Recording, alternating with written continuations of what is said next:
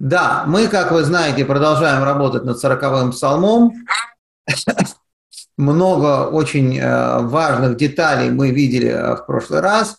Напоминаю вам, у нас были всякие интересные талмудические цитаты. Вот сегодня такой, э, по мне, разгрузочный урок потому что каких-то больших проблем, цитаты из каббалистических книг, даже, собственно, из Талмуда мы здесь особо не наблюдаем. Э, в этих следующих посуках с 11 и дальше.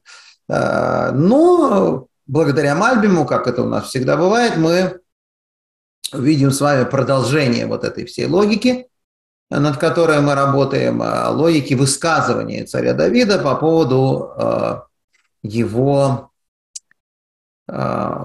прошлый раз поставленного ребром вопроса о публичности вообще заявлений о славе Творца, о публичности работы любого религиозного человека, то есть насколько ты должен активно распространять знания.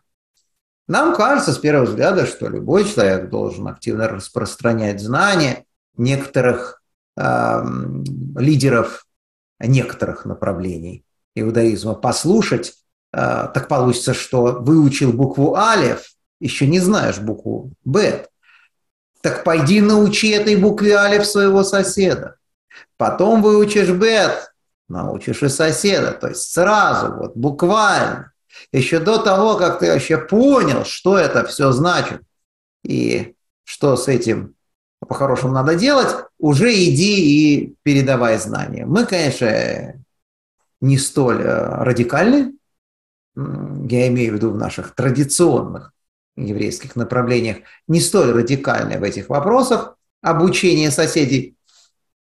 Тем не менее, э, проблема здесь определенная есть, потому что лильмоду ламет написано. Учиться и обучать. То есть эти два глагола стоят рядом, и человек, который учится, человек, который узнает, он, собственно, вроде как должен передавать знания дальше. И поэтому, как в прошлый раз мы смотрели, говорит царь Давид, «Бесарти цедек бекагальрав». Я возвещал справедливость в общине многочисленной. То есть он таки как раз здесь показывает, что его желание, первое, по всей видимости, главное было распространять знания в большом коллективе. Мы видели с вами э, противоречие с этим делом, открывали 63-ю страницу талмудического трактата Эрвин, где э, написано, что в другом псалме гораздо позже царь Давид говорит, «Сафанти белебием ратаха, я прятал в сердце своем высказывания твои, обращаясь к Богу, говорит царь Давид. То есть получается, что наоборот, он не распространял, а держал при себе знания. И Талмуд дает очень простой, очевидный, наверное, но, конечно, принципиально важный ответ на этот вопрос. Мы с вами в прошлый раз смотрели, когда человек, которого звали Ира, а я Ири, то есть Реби, учитель царя Давида, был жив, тогда Давид держал свои знания при себе. Предпочитал их не распространять, потому что Рэби его был жив и было кому работать с евреями.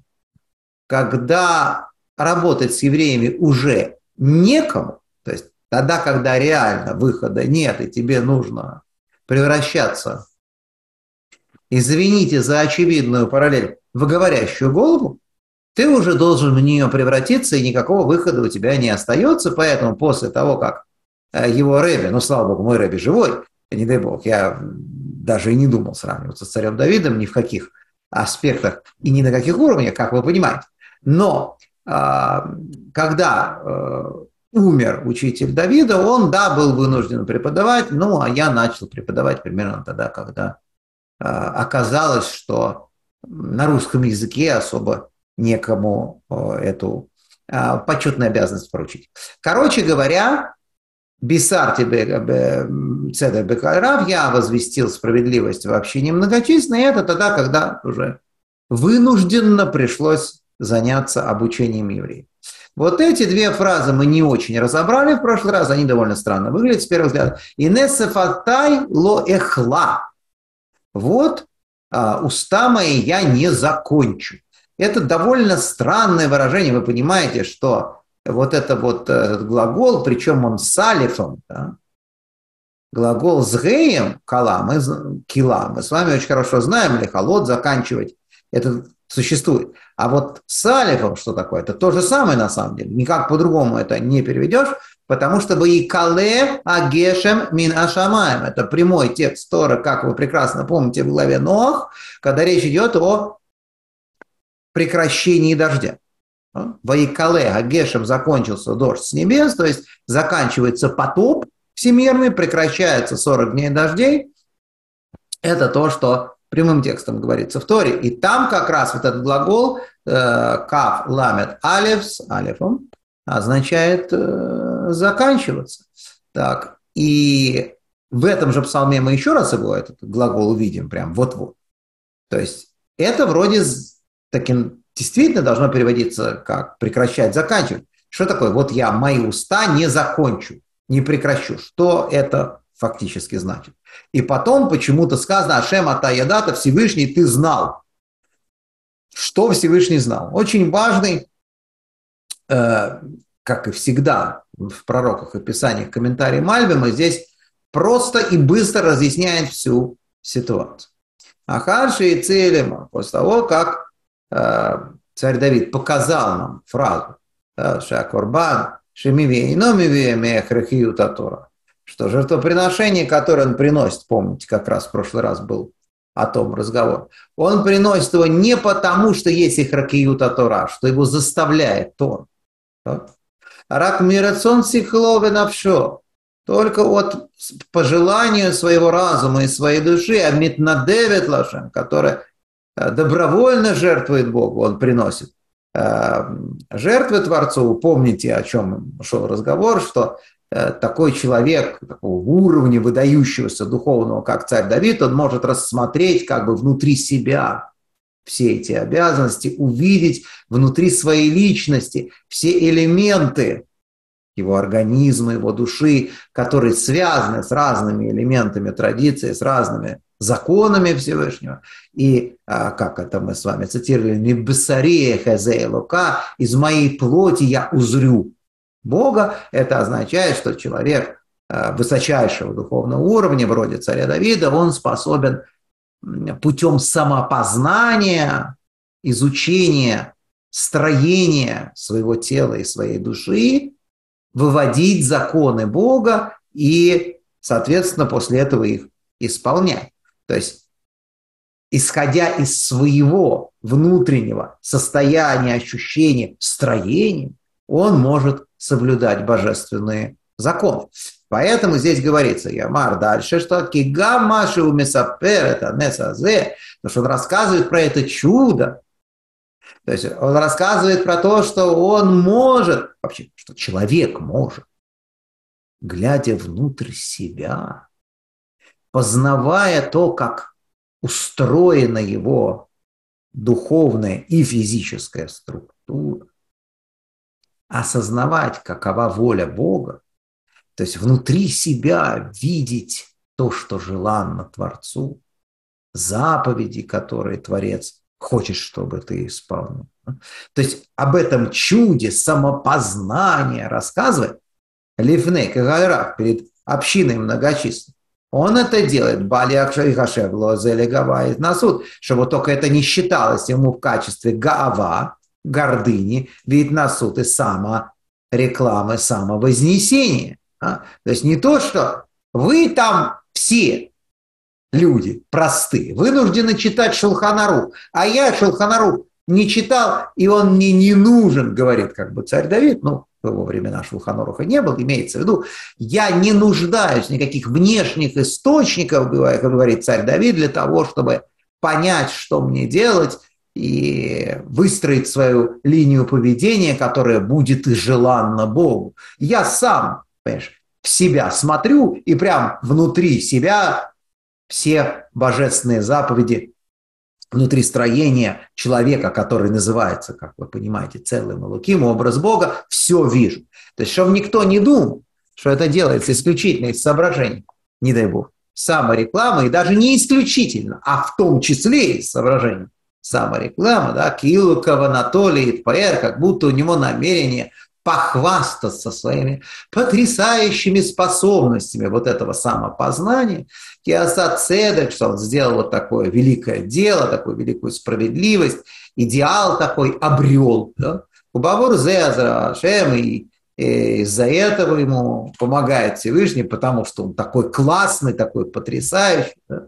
Э, Шемиара Уй, э, лишлемим астир там, потому что, как известно, достойно для целостных людей скрывать э, свою праведность. Это я, э, знаете, никогда не забуду. Много-много лет назад уж, точно как 30 прошло лет тому назад, как я обнаружил э, в комментариях к Мишна Бруре, даже не, нет, не в комментариях Мишна Бруре, в комментариях Шулханорах и Бейргейтове, в начале Шулханора Хорахая, а, что когда человек встает утром, прям только просыпается, только открывает глаза, он не только должен сказать моды ани, как все говорят, а еще есть э, всякие там дополнительные устражения, когда он промывает глаза, сказать, и на МК процитировать пару фраз из э, Широширим, из песни-песни. Вот с этим совсем я заявился к своему рэбе, показал, что вот э, такое, оказывается, есть, а почему бы вот так не делать? Вы знаете и понимаете, что человек в тогдашнем моем возрасте, 30 лет тому назад, мне было чуть за 20, вот, такой человек очень радикален, очень принципиален, ищет, где бы устражить, а не где бы облегчить, как сейчас по, по прошествии 30 лет уже сил нет, не устражать, не вообще что-либо делать, не говоря уже про желание. Одна пенсия только а, маячит на горизонте. Вот. А тогда совсем было другое настроение. Дай-ка я, мол, возьму на себя побольше обязанностей, говорю я своему Рэбе. И он так, как обычно, с поверх очков на меня, а, как солдат, известно на что, смотрит и говорит, да, солдат на вож, правильно, э, и, говорит, знаешь что, э, ну, естественно, разговор идет на святом языке, а, знаешь что, Говорит, во-первых, я тебе скажу, что Мириды Хасидут и Астирминашим. Говорит, что вещи, которые касаются устражений Хасидута, да, то есть благочестивости особенно, нужно скрывать от людей. То есть то, что ты ко мне с этим пришел, хочет сказать мне мой Рэбе 30 лет назад, уже показывает, что тебе этого делать не надо. Это как? А вот так что если ты хочешь взять на себя какие-то дополнительные иудейские социалистические обязательства, бери родной, но так, чтобы никто об этом не знал. Потому что если ты это делаешь перед кем-то, это уже что будет? Вот ты с утра встаешь, делаешь больше, говоришь больше, исполняешь больше, чем обыкновенные евреи. И ты обязательно будешь думать в этот момент, что вот, ты своему Рэбе об этом рассказал. Теперь Рэбе знает, какой у него ученик. Наикрутейший завелся, который не просто с утра встает, там Модеани, вот это вот два слова. Он еще и так, и сяк, и вот это еще подключил. О, какой, думает Рэбе, про меня есть у меня, ну, Рэбби думает, есть у меня такой ученик, и ты прямо уже весь из себя в своих собственных глазах просто великий цадик. Вот уже это все, как говорится, вычеркивается, это отказать, это все не надо. Вот. Поэтому, как бы, естественно, когда царь Давид рассказывает про свои высокие достижения, про свои способности разглядеть внутри себя всякие тайны мироздания, внутри целым и луким образа Бога, который в нем заложен. Разумеется, это очень странно уже само по себе. Если он такой потрясающий, зачем он об этом рассказывает? Не для того ли, чтобы показаться? Лолит перболив Не для того, чтобы красоваться этим перед многочисленными людьми. Шеаз мореши циткатами и шелолешемешем. Тогда, естественно, будет понятно, что вся их праведность, она не во имя Бога.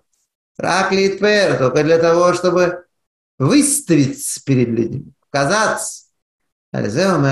Там он говорит, про это, говорит так Давид. Бессарти цедок, он говорит, я, да, возвещал справедливость, айну цитки, именно мою праведность, мои способности такие выдающиеся, или кайрав, перед большой общиной. И генеса фатай лоехла, что я не закончу свои уста, то есть, в принципе, что? Эй, не царих лихлоет с Я не должен заканчивать говорить своими устами. То есть первая реакция в любом случае, любого человека, на то, что кто-то начинает себя вести так, как царь Давид, и рассказывать о своих выдающихся достижениях, это закончить его уста. В каком смысле? Зажать этому человеку рот, сказать ему, прекрати, так себя не веду. Нельзя о себе такие вещи рассказывать. Если что ты что-то можешь, слава Богу, скажи Всевышнему за это спасибо и делай. Только тихо, скромненько. Вот, каждый хочет так ему сказать. Но, говорит царь Давид, в данном случае так говорить не надо. Мои уста заканчивай, закрывай. Не надо. Потому что Ашем Атаядата. Ты, Бог, знаешь, а имя правда. Шеэнького на что мое намерение не красоваться, не сообщать людям о своих способностях. А какое ж тут намерение? Неправильно я. Не в ту степи переключился, а вот сюда надо переключиться, на сам посук, а не на следующего мальбома сразу. Да? Цитхатха локи сити. Значит, свою праведность я не скрывал, бетох, леби, внутри своего сердца. Почему? Говорит царь Давид. Эмунатха утшуатха амарти. Потому что веру твою и спасение твое я сообщал. Локи хада тихаздеха. Я не скрывал твою милость, не опротестовывал в прямом переводе твою милость. Веамитха и твоя истина ляка, аль для вот этой вот многочисленной общины. О чем идет э, разговор? Ну, я уже сейчас не буду открывать э, в данном случае. Комментарий Мальбима, своими словами скажу, там довольно много. Речь идет о том, что в двух ситуациях обычно существует необходимость для того, чтобы эм, была восстановлена, установлена связь между человеком и Богом, экстренная связь, которая спасает человека, которая поддерживает его, которая чего-то ему, этому человеку дает. И это, собственно, вот два случая. Во-первых, это тшуа, тшуатех, твое спасение. То есть тогда, когда человек находится в катастрофическом положении, и ему немедленно требуется помощь Творца. И это первое, первая причина, почему Давид рассказывает о своих достижениях, о своих возможностях, потому что все это обязательно связывается в его рассказе с теми спасениями, которые он обретал, получал свыше. А это делается в свою очередь для того, чтобы была ему надха, вера в тебя. То есть рассказывать о том, как Бог помогает человеку в жизни. Это очень хорошо и правильно потому, что другим людям это помогает укрепляться в вере. Вы знаете, есть такая митцва рассказывать о чудесах. И эта митцва рассказывать о чудесах, она как раз таки с этим связана. Хотя, конечно, как мы с вами все время, чуть не сказал, нехороший глагол талдычим. Мы таки, да, талдычим, повторяем. Постоянно, упорно повторяем. Что, как Рамбам нам сообщил. Ну и, в общем, кроме Рамбама, многие там, наши великие раввины еще до него это считали, еще из Талмуда это видно, что евреи поверили Моше, нашему великому пророку Мошерабейну, не из-за тех величайших, потрясающих фокусов и чудес, которые он производил. То есть мы поверили ему потому, что его связь с Богом по смыслу ее, по цели ее. Это величайшее из всех предложений, которое было сделано человечеством. И со смысловой и содержательной точки зрения мы ему поверили, а не потому, что он показывал фокусы. Но фокусы, они, конечно, и с этим нельзя поспорить, здорово помогают и укрепляют.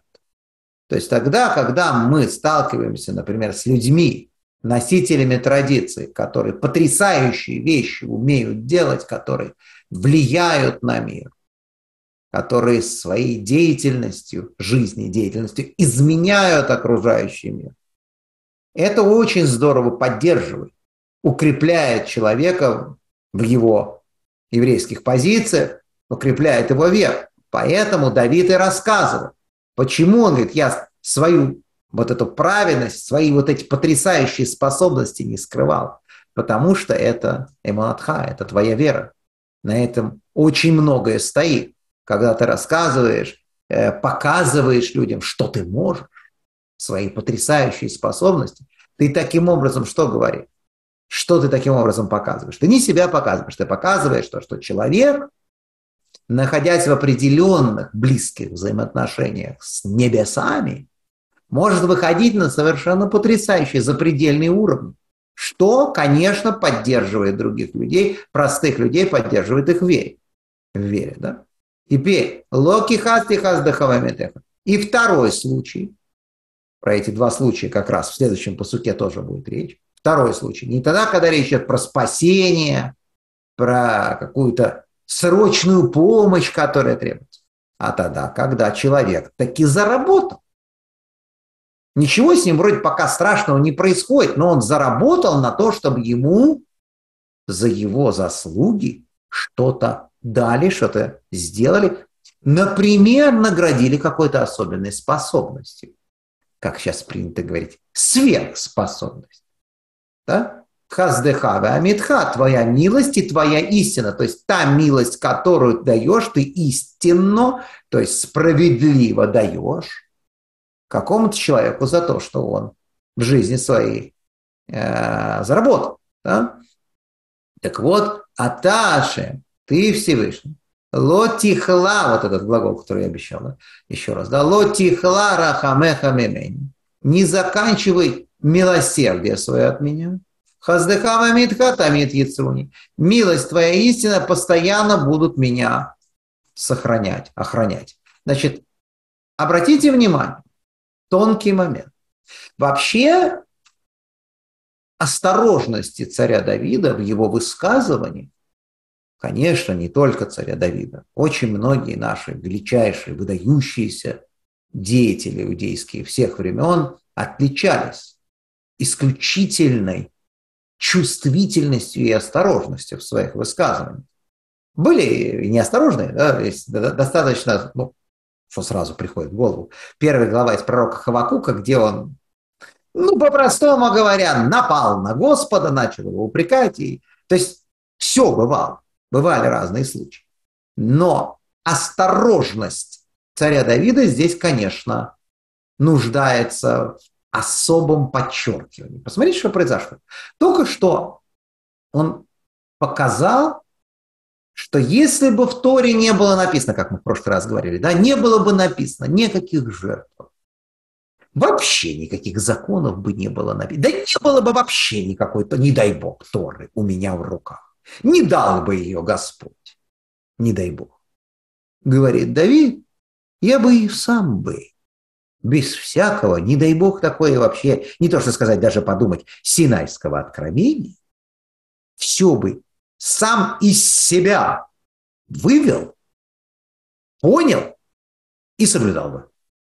То есть, глядя внутрь себя, человек способен там, ну, как мы с вами в прошлый раз говорили, э, на Фешехаим цитировали Раби из Воложина, что каждая э, часть, каждый элемент структуры человеческой личности связан с какой-то заповедью, с каким-то элементом строения духовных миров.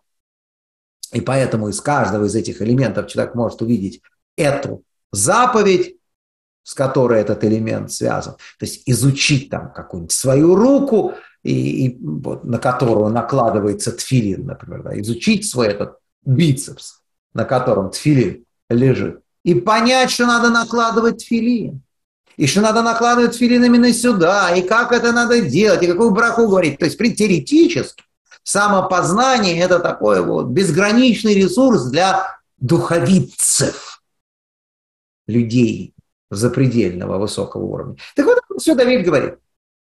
После этого он заявляет, ты Всевышний знаешь меня. Я говорю это все не потому, что я хочу показаться великим, а для того, чтобы приобщать евреев к нашим ценностям, укреплять их веру. Вот. То есть показываю такие потрясающие возможности, связанные с праведностью как таковой, то есть вот что праведный человек может достигать таких вершин для того, чтобы люди хотели становиться праведными, для того, чтобы люди укреплялись в вере. То есть это делается исключительно из высших соображений.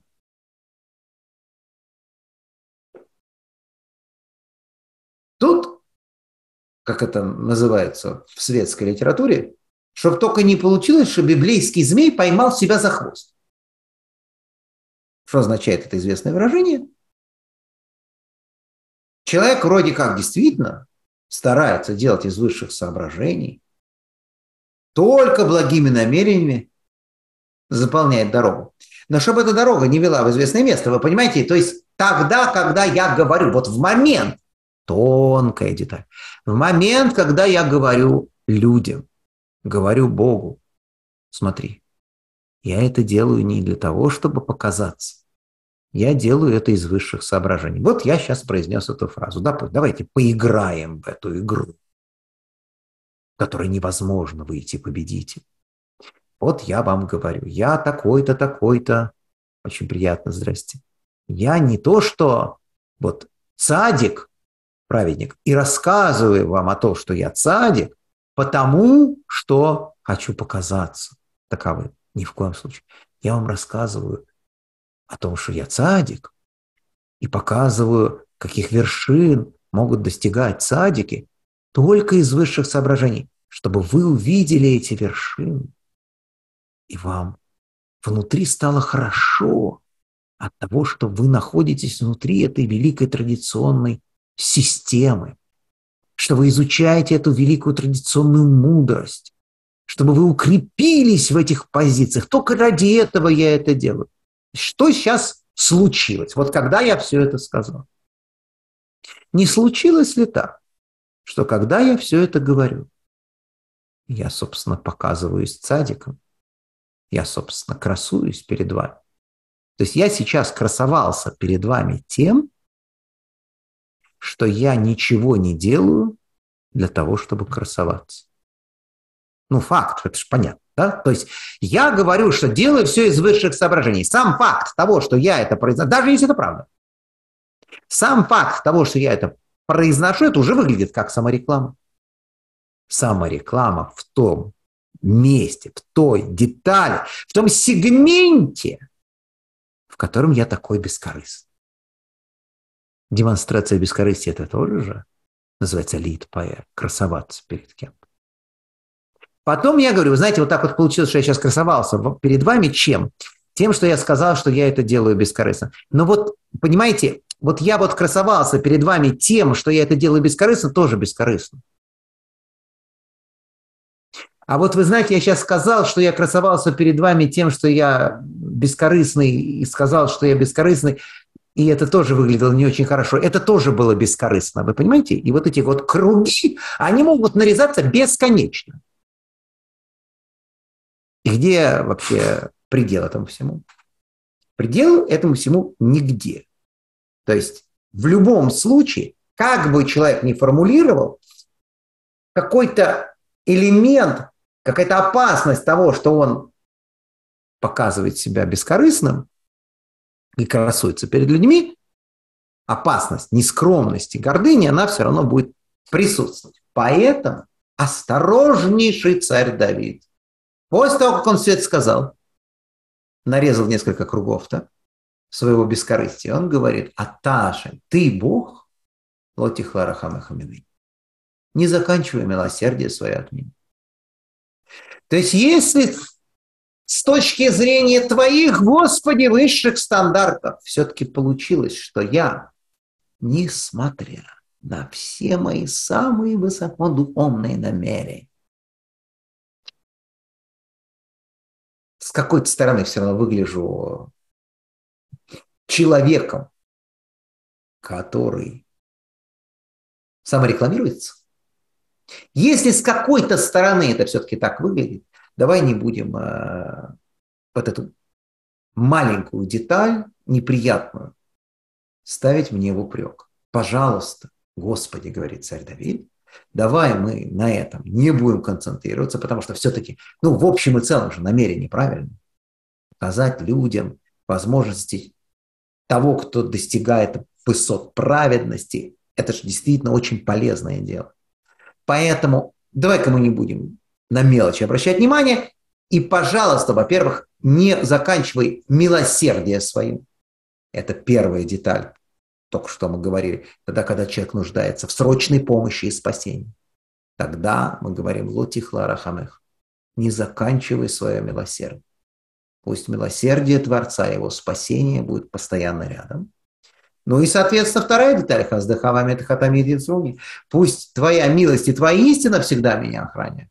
То есть, если я таки что-то заработал, а он заработал, вот тем самым фактом, что он сейчас изложил свои вот эти потрясающие способности, рассказал людям, что вообще возможно считывать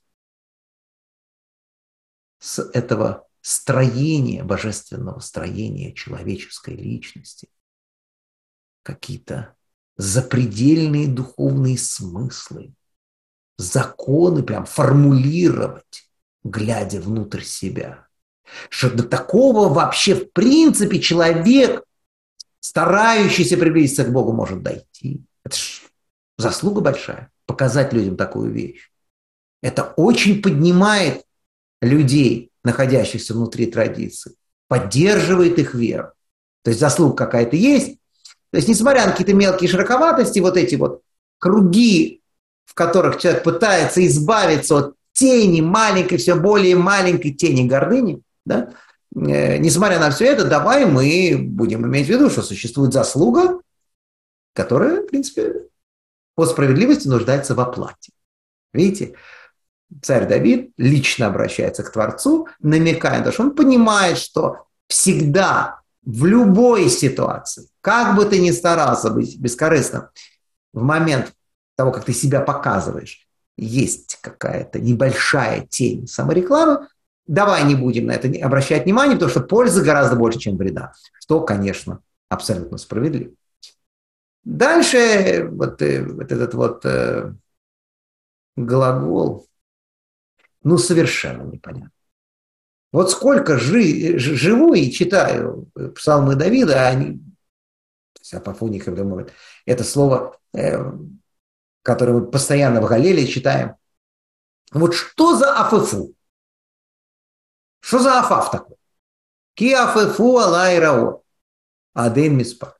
Ибо окружили на меня, ну, окружили меня, бедствие, виды зла, раот, да, от эйнвиспар до бесчисленности. До того, что нет числа. То есть меня окружили бесчисленные виды зла. Что за слово афафу? Откуда оно вообще взялось? Я обращу ваше внимание на наших комментаторов. Как они ведут себя по поводу этого слова. Значит, Раши вообще, понимаете, вот, блещет многословие. Афэфу, Раши, это значит сивеву. Для савев, окружать. Спасибо большое. Почему не написать нормальное человеческое слово сивеву? Чем Афифу лучше, чем известное слово лесовев окружать. Неизвестно. Дальше, ну, мецудот. Мы с вами в крайних случаях мы прибегаем к Равину Альтшулеру, потому что пшат, простой смысл у него это прям конек в лучшем смысле этого слова. Сививу окружили. Он еще добавил краши, значит, из 18-го псалма, то, что мы с вами видели, «Афафуни хевли маве». Окружили меня путы смерти. Спасибо. Чем слово «афафуни» и «афафу» лучше, чем «севевуни» и «севеву»? Чем это отличается? То есть тут надо, конечно, говорить с нашими лингвистами, а может, лингвисты и не помогут, надо говорить с каббалистами. Тут что-то спрятано. То есть царь Давид, который использовал этот глагол «аф-аф», который похож на лаяние собачки. Непонятный момент. Причем вы понимаете, что тут какие-то фокусы, конечно, заложены. Глагол «сивев», он тоже, знаете, имеет в себе две одинаковые буквы, два бета, сивев, да, бет и бет, и самое. А глагол афав, он имеет э, два п и алиф. И то ли какая-то тут идея с гематрией, непонятно что, понимаете, ну, 80 и 80, 161, ну и что? Кув самых что? Ну что? Ну непонятно что гематрия вроде не просматривается как, ну вот так, не во всяком случае не очевидное. Очень хитрое слово, загадочное слово, которое любил царь Давид. Видите? Киафефу алайраот. Меня вот так вот окружили, э, значит, э, э, да, кстати говоря, хорошо, я вспомнил это. Однажды мне сказали много лет тому назад, что вот это афефу алай, оно очень странно тоже выглядит. Потому что в 18-м псалме мы видели «Афафуни» окружили меня. Чем не нравится? Прошло несколько псалмов, от 18 до 40. Царь Давид вдруг сказал, вместо «Афафуни» окружили меня, «Афафу Аллай» окружили на меня. Почему-то вдруг вот этот глагол здесь он употребляет со словом «Алай» – «на меня». То есть, по всей видимости, как мне когда-то много лет тому назад сказали, что этот глагол аффу, чем он отличается, ну хоть что-то, хоть какая-то информация, от сививу, от обычного глагола окружать, что это окружать не только со, со, со всех сторон, а еще и сверху. Поэтому Аллай на меня, окружили на меня. То есть со всех сторон, в смысле и сверху тоже. То есть со всех абсолютно сторон, просто под колпаком человек оказывается вот этих вот бедств. Ну и кто, как не царь Давид, понимаете, хорошо знал, как это бывает, когда на его голову сваливается все, и вокруг со всех сторон еще подступает. Да, это его обычное положение. Да. И сигуни авонотай. Постигли меня мои грехи. Видите? Здесь он уже а, говорит, по всей видимости, не о каких-то тонкостях, о которых мы только что говорили, что маленькая тень корысти, которая может показаться. Тут уже речь идет о серьезных вещах, о его серьезных ошибках, о которых мы все хорошо знаем. А он знал о них еще лучше, чем мы гораздо. Так? Было я холти, я не мог лир от видеть. Что это значит? То есть вот эта вот окруженность бедствий, из-за постигших грехов, она такова, что человек не может видеть. Это очень сильное очень точное на самом деле выражение, как всегда у царя Давида. Погруженный в это состояние, состояние повторяющихся, повторяющих себя ошибок человек, в какой-то момент просто становится слепым. Он просто не может видеть. Имеется в виду, что вот повторяя постоянно какие-то ошибки, выбрав какой-то неправильный вообще путь, в итоге в конце пути, в конце этого пути неправильно, человек уже как бы слеп. Он уже вообще не в состоянии видеть, где в действительности он находится, куда он забрел по этому пути. Пример, пожалуйста. Мы с вами хорошо знаем, как царь Давид воспитывал своего с какого-то момента после смерти Амнона и Авшалома, старшего сына Адония. главного претендента на престол.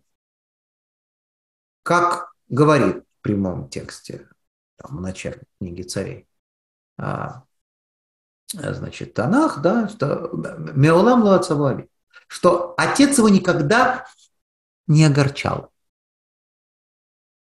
То есть воспитательный процесс, он, конечно, проходил, но без огорчений. После того, как царь Давид потерял двух сыновей, были убиты Амнон и Авшалом, по всей видимости, а, все методы более или менее жесткого воспитания просто применять царь Давид был не в силах. И он воспитывал Аданияу уже совершенно по-другому. Мягко, нежно, воспитывал только добром, добрым словом, как сейчас принято. Вот как нам сейчас рассказывают большие специалисты по детской психологии, чтобы они прям все были здоровы. И чтобы вот к ним относились их дети, так как они их предлагают воспитывать. Ни в коем случае наорать, не дай бог, поднять руку на ребенка – это сразу попасть в наручники этой рукой. И все. прекрасным примером, добрым словом. Вот он его и воспитывал прекрасным примером, добрым словом, очень современным. Царь Давид. Закончилось это, как вы помните, смертью и этого Аданьяву тоже. Ну, слава богу, царь Давид хотя бы не дожил до того, что а, погиб Аданьяву. Вот. Но э, попытка захвата трона, попытка захвата власти в стране, предпринятая Даниягу, она была как раз результатом этого воспитания замечательного.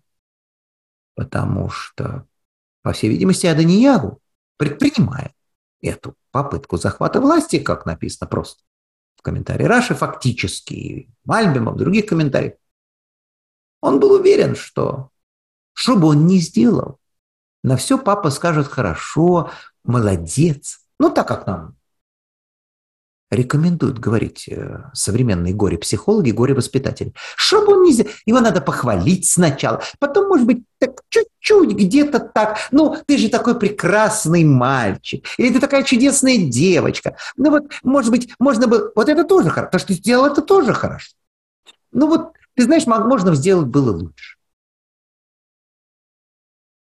Ну, и Даниил уже дал именно такой реакции на захват власти. Захватил, и слава богу. В принципе, можно было этого не делать. Да, я знаю, папа, не, не утруждайся. Ты уже пожилой человек. Но так, в принципе, спасибо за похвалу, как обычно. Захват власти закончился катастрофой, как вы понимаете, да, но вот, вот это называется избрать определенный путь. И потом уже просто на нем ничего не видеть. Потому что когда Батшева пришла, как вы помните прекрасно в тексте книги царей, в начале, просить за царя Шломо и рассказать о том, что Аданьягу захватил трон, если бы пророк не пришел следующий, Милытия двора, как говорит, и не восполнил недостающие звенья в речи Батшевы, то, скорее всего, царь Давид, ну, во всяком случае, из текста видно, что он бы так и все это и оставил. Ну да, типа, я обещал, что царем будет Шломо. Конечно, я обещал, но сейчас уже какая ситуация?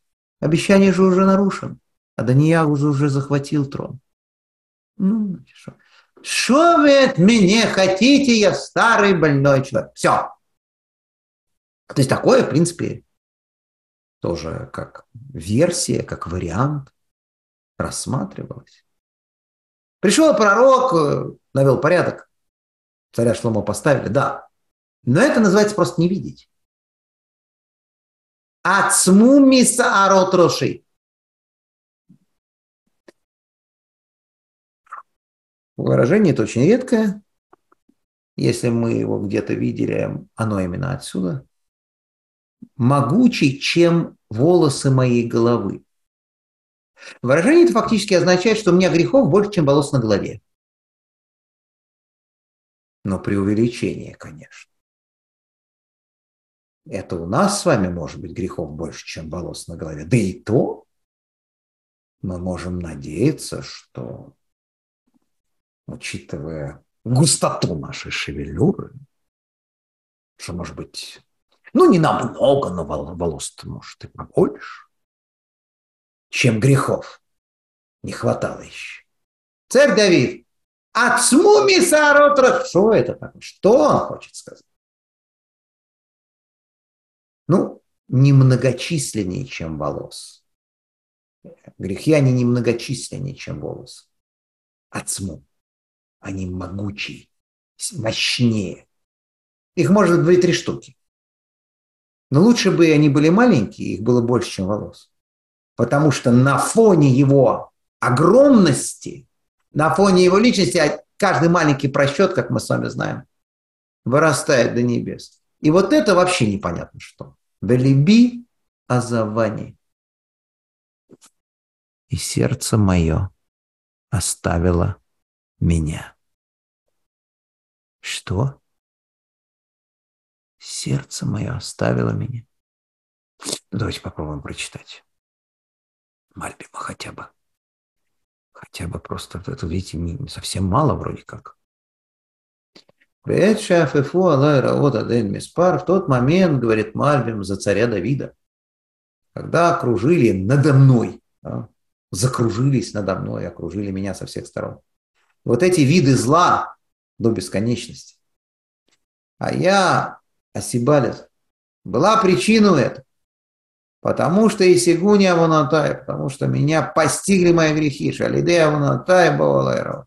Исключительно из-за моих грехов пришли ко мне эти бедствия. Э, Може готов, как сказано, прям не знаю я, зачем это сюда вставляет Мальбим. Ла нахашмимит и лахетмим. Все прекрасно помним, откуда это дело. Талмуд Трактатанин, где Раби Ханина Бендоса сходил в лес, закрыл голой пяткой нору с огромным змеем. Змей укусил Раби Ханину, подавился и умер.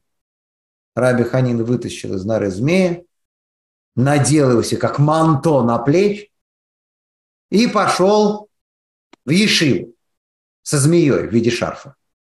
И пришел, и показал эту змею, и произнес эту замечательную фразу. Банай, дети мои, тут еще не хватает возгласа, дети мои. Луана хашмями. Не, не, только арод там было, а не нахаш. Да?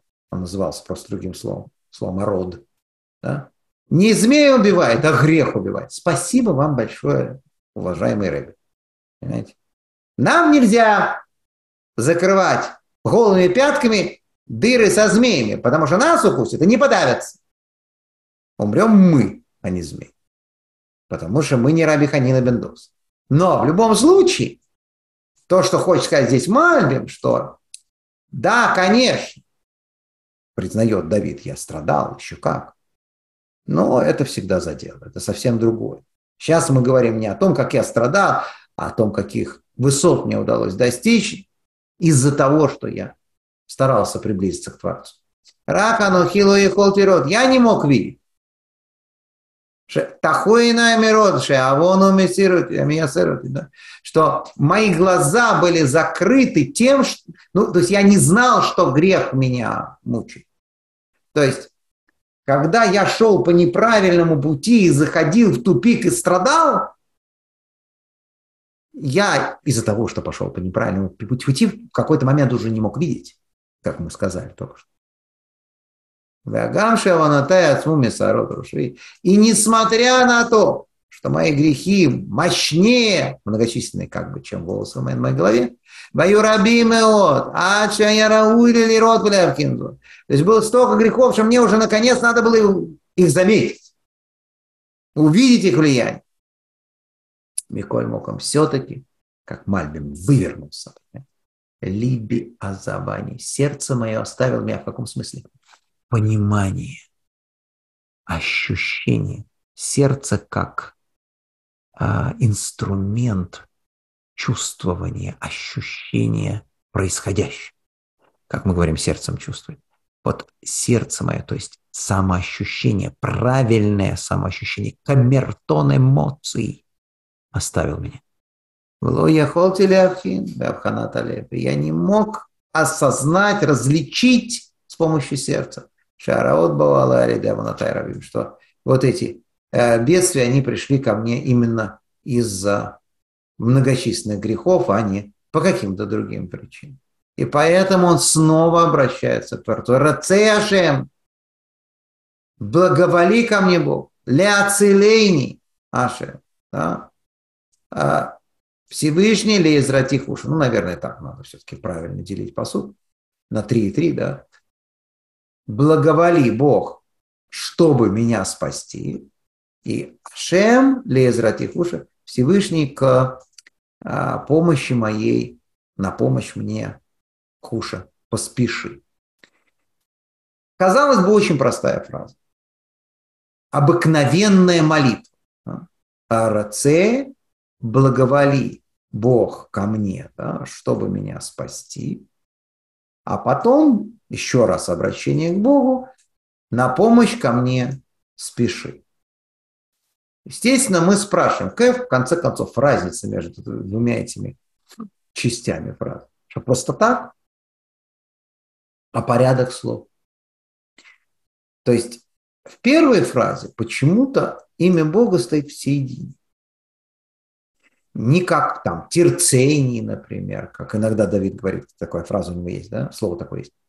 Возжелай меня, да, то есть прояви благоволение ко мне. Просто рацеша благоволи Бог. Леоцидень, чтобы спасти меня. Не написано благоволи ко мне. И имя Всевышнего в середине. А потом в начале, во второй фразе, в начале имя Бог. И потом Леизрати. Хуша, а, на помощь ко мне поспеши. Че, чем отличается благоволи, чтобы меня спасти, и на помощь ко мне поспеши. Очень тонко, очень непонятно сформулировано. То есть кажется простая фраза «Бог, помоги» и все. Нет, не все.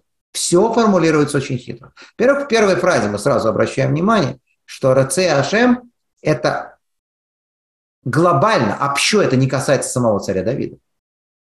Благоволи вообще Всевышний. То есть благоволи потому, фактически, да, что ты называешься этим именем бесконечного милосердия. Благоволи к кому? Вообще к миру. И тогда это будет для оцеления, это будет, чтобы меня спасти. Потому что если Творец общо, глобально проявляет милосердие к миру, то уж точно такого праведного человека с такими огромными заслугами, как Давид, он спасет. Понимаете, в чем идея? То есть сначала ты прояви общее милосердия. То есть ты как бы встань на позицию добра и милосердия в отношении мироздания, и это, конечно, приведет к спасению такого человека, как Давид. Потому что не спасать такого праведника, как и Давид, и придираться к его небольшим просчетам, не обращая внимания на его величайшие достижения и заслуги, можно не тогда, когда ты благоволеешь, благоволишь к миру, а именно тогда, когда ты стоишь в позиции суда и наказания. Тут да, находясь в позиции суда и наказания, Творец может начать придираться к праведнику. А когда он вообще, в принципе, ко всему миру, даже к самым большим злодеям, неправильно ведущим себя людям, он благоволит, ну, на фоне этих злодеев, разумеется, такой цадик, как Давид, вроде как, да, он обязательно будет спасен. Это первые три слова. И вторые три слова совершенно другая позиция обращение сначала к Богу. Лично. По всей видимости, в той ситуации, когда все по-другому. Суд распростра... распростирается над миром. Наказание – страшное время. И поэтому сначала надо призвать это четырехбуквенное имя, имя милосердия. То есть воззвать к милосердию в момент суда. И сказать «Ле эзратихуш» именно на помощь мне поторопись. Да? То есть тогда, когда наказывают такого праведника, как Давид,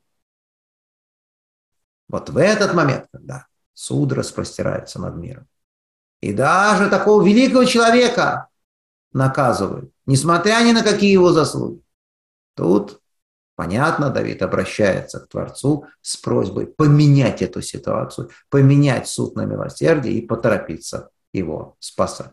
Ну, с Божьей помощью мы будем продолжать дальше, будем с Божьей помощью работать. Тут уже, видите, его шавиях пруях от мемакшей навши, лиспота, да, чтобы, так сказать, застыдились и опозорились все вместе те, кто ищут души моей, чтобы ее уничтожить.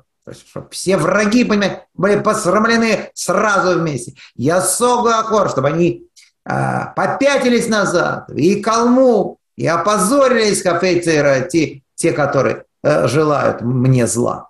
Ну и тут, видите, целый набор слов, означающих стыд и позор. И опозориться, и, и, и застыдятся, и вот все это примерно одно и то же. Да? Буша, херпа, клима, все эти слова не означают примерно одно и то же, казалось бы, да, то есть позориться и стыдиться. Что он конкретно имеет в виду здесь? Эм, оттенки этих глаголов в еврейском языке с Божьей помощью уже мы с вами в следующий раз посмотрим. Вот, всего самого наилучшего. Будем продолжать работать. Э, и оставайтесь с нами. Спасибо.